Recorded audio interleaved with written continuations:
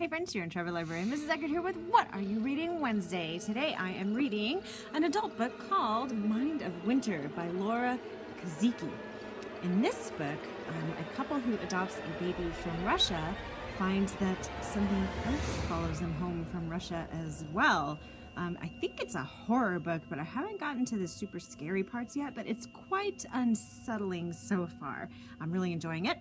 And I am reading a um, middle grade novel, which is will be in our library soon, called Dead City Blue Moon. It's actually the sequel to Dead City, which is a Blue Bluebonnet book a few years ago.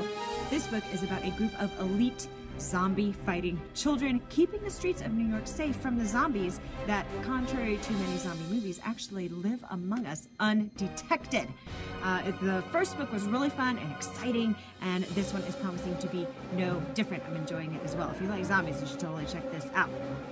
Tell me what you're reading here on YouTube and make sure you hit subscribe.